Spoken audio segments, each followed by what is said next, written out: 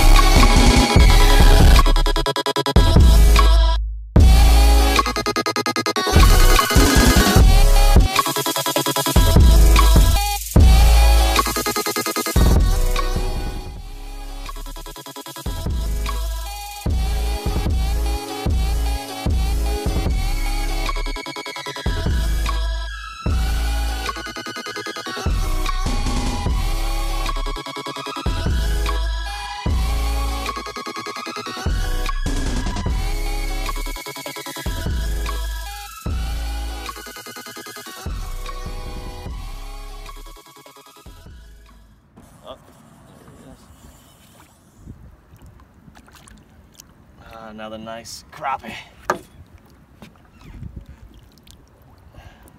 There's another good one for the pan. Using the old ladies night. Got it on a 1 8 ounce, and the reason we fish such a heavy jig head, eighth is considered pretty heavy for crappie. Got it on a 1 8 ounce. That's the ladies night Matrix Mini.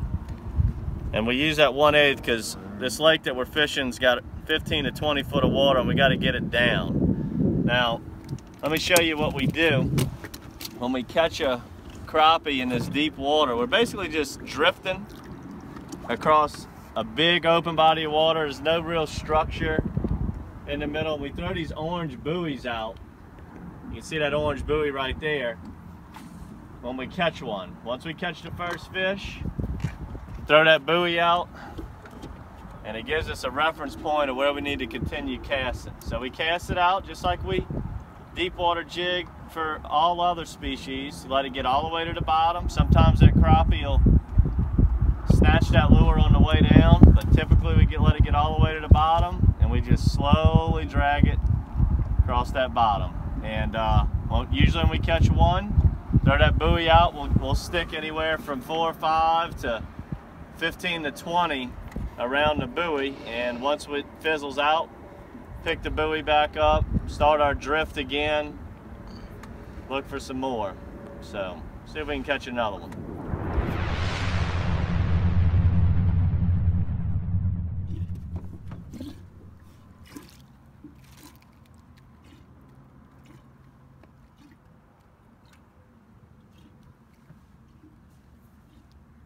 This Matrix Mini that we created really has a nice action to it. It is the Matrix Shad, but scaled down to the exact proportion. So it's tip, it is exactly what it, its name. It's the Matrix Mini. It's the exact same design, same mold, same everything, but shrunk down. We made it especially for these crappie, but it does well on catching speckled trout, uh, small bass, things of that nature, brim, and you can see the action on it. You know, most, a lot of crappie jigs out there are simple tube jigs where they just bounce up and down, but look at this one in the water as it swims. It's got an actual paddle tail, so it swims naturally in the water.